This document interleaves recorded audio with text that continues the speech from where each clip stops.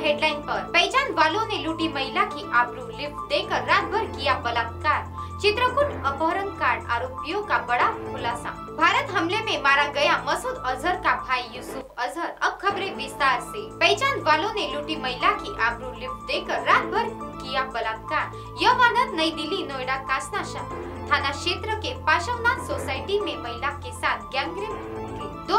आरोपियों को पुलिस ने गिरफ़्तार कर लिया है। पुलिस ने दोनों आरोपियों को हिरासत में लेकर छानबीन शुरू कर दी है। जानकारी के मुताबिक आरोपियों ने पहले महिला को आगरा के पास किसी गाड़ी में बिठाया और रात भर उसके साथ गैंगरेप किया।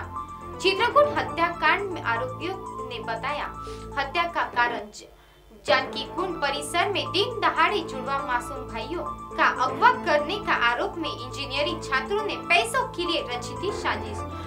पुलिस की पूछताछ के दौरान शातिर ने पूरे घटनाक्रम को कबूल किया है। इसे स्वीकार की पहचान के भय की वजह से उन मासूम बच्चों को मौत के घाट उतार दिया था।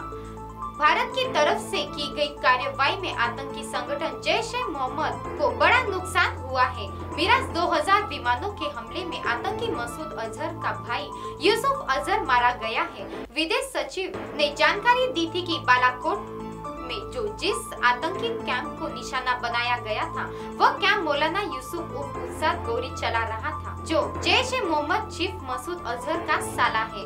सुबह के साढ़े तीन बजे भारतीय वायुसेना ने पाकिस्तान में घुसकर एक हज़ार किलो बम गिराए हैं। अभी तक यह बयान से मुखर रहा है पाकिस्तान। तो खबरों में आज के लिए इतना ही। M N S news live की खबर देखने के लिए एमएनएस हिंदी ऐप आज ही प्ले स्टोर से डाउनलोड करें।